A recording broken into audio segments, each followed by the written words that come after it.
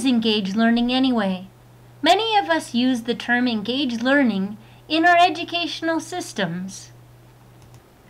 And yet we may not be entirely clear on the meaning of that terminology, particularly between individuals, departments, or even institutions.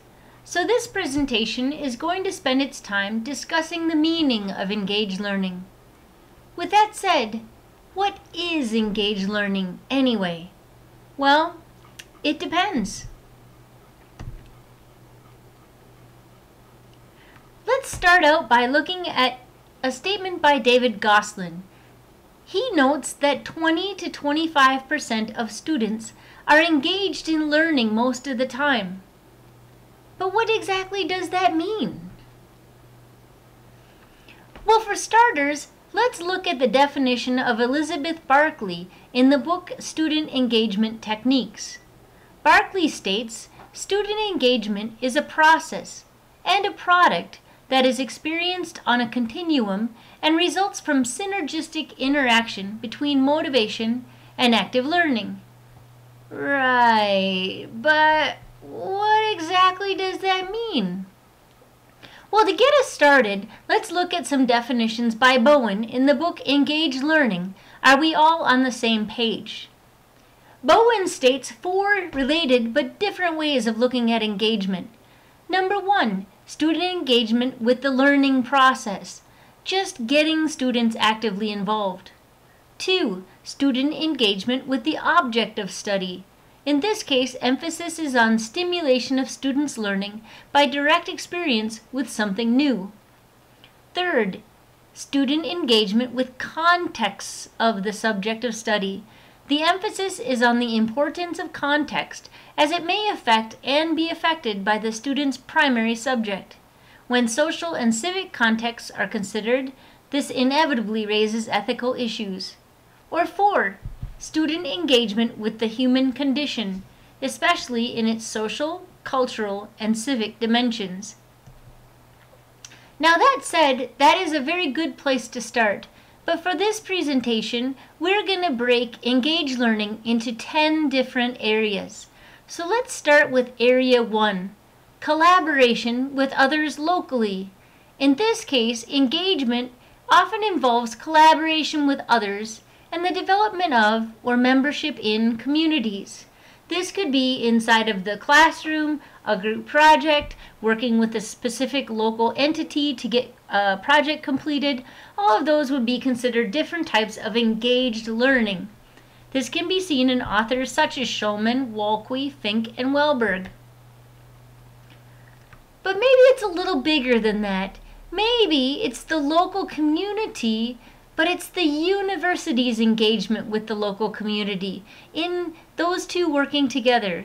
It is the culture of the whole institution, its values, norms, roles, and ethos that actually educates. At Utah Valley University, UVU, perhaps we could think of Project University, which is a funding grant system created to create university projects that encourage engagement in the local community. Equally, it can be seen in some of our missions and goals and values at an institutional level, which all discuss engagement. But maybe that's not large enough either. Maybe we need to go to a bigger scale, such as global engagement or international engagement, equity in education. In this context, engagement is meeting the needs of linguistically and culturally diverse student populations, such as immigrant or international students. Then again, maybe it has nothing to do with the size of the groups that we're discussing. Maybe instead it has to do with what happens to the individual learner, him or herself. So in this context, let's consider engagement as transformative learning. Transformative learning is when the broadening or opening of the mind takes place, such as when students become stronger critical thinkers than they were before taking the class. Creating cognitive disequilibrium is an example of using transformative learning.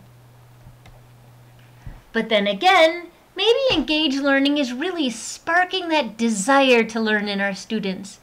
After all, successful engaged learners are responsible for their own learning.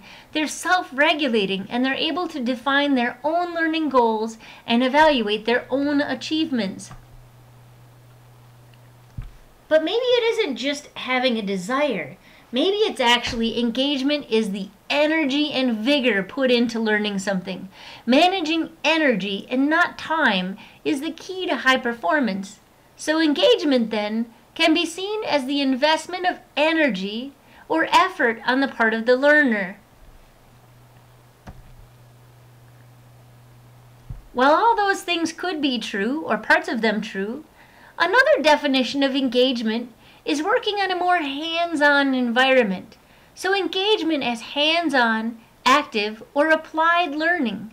In this context, students are actively engaged in the material by applying it. They learn the material better this way. This may involve doing hands on work, building projects, working with mentors or persons in the field, making models, or other types of student interaction with active learning.